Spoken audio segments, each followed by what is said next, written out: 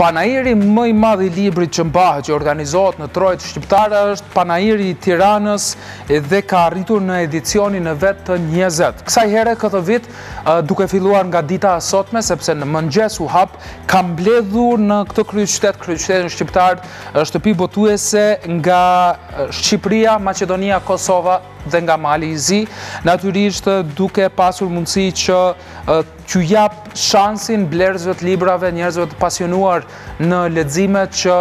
të marrin libra nga shtëpi të ndryshme, tituj të ndryshëm, vetëm nga Kosova, për shembull, në këtë panair që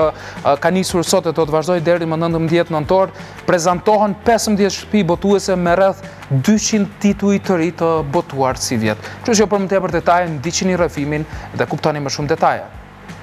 Vëmendjen kryesore të të gjithë adhuruesve të librit dhe botuesve të tij nga sot për pesë ditë radhazi do ta ketë Panairi i Librit, Tirana dy mijë e shtatëmbëdhjetë. Ky panair i cili ka nisur me edicionin e njëzetë të tij, mbledh në Tiranë të gjithë botuesit nga trevat shqiptare. Në kryeqytetin shqiptar edhe këtë vit prezantohet Kosova me rreth pesëmbëdhjetë shtëpi botuese. Koordinatori i Shoqatës së Botuesve të Kosovës, Besian Zeneli, tha se këtë vit në kryeqytetin e kulturës shqiptare do të prezantohen pothuajse të gjithë botuesit kosovarë. Në kuadër të këtij panairi janë pothuajse gjithë botuesit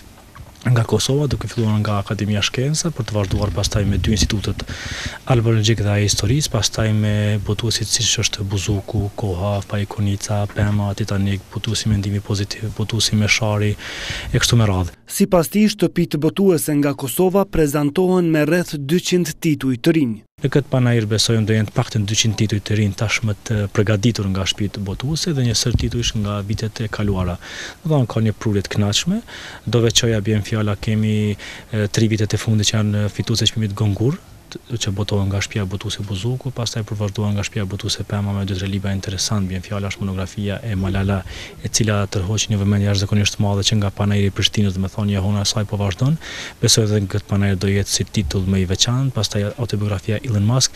dhe për të vazhduar kështu me radhë. Zeneli tha se nga panairi i Tiranës kanë përvoja të mira, prandaj sipas tij edhe këtë vit presin interesim të madh të adhuruesve të librit. Vizitueshmëria është e kënaqshme sepse dihet Tirana është, si me thënë, kryeqendra e kulturës shqiptare.